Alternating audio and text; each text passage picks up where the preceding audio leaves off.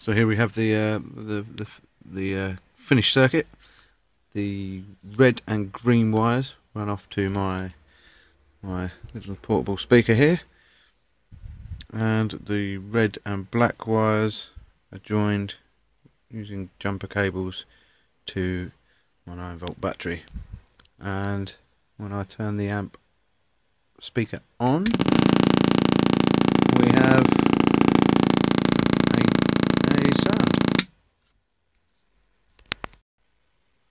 So I've replaced the 100k resistor with a 100k pot here. So when I uh, reconnect my battery, turn my amp on, and when I change the dial, I can actually change the pitch, varying the, the resistance on the feedback loop from pin 2 to pin 1.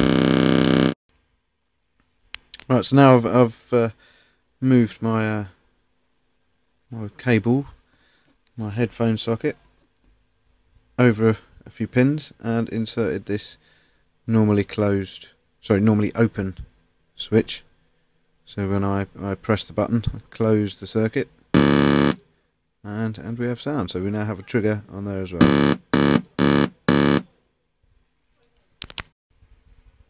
And the final step here is uh, again I've moved the uh, the headphone jack slightly and put in between the headphone jack and the ground output here is a one one mega ohm pot so that I can I can adjust the volume. So if I if I play Fortunately I've only got one spare hand so if I, I change the dial and then we have louder, turn the dial down, and much quieter, which is very handy.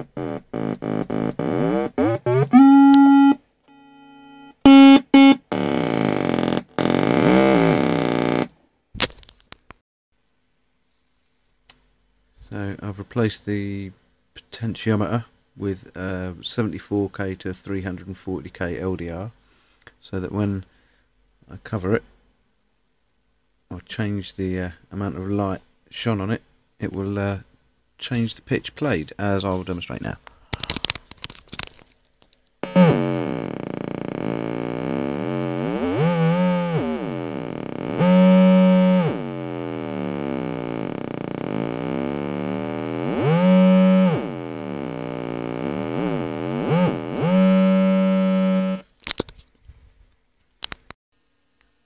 So I've added another switch on these red and yellow cables, um, another potentiometer, and some resistors between the chip and the switches um, to reduce the, the, the volume of of each of the, the, two voices I now have, which um, are both controllable. The pitch is controllable, and I can trigger both of them using the switches as so.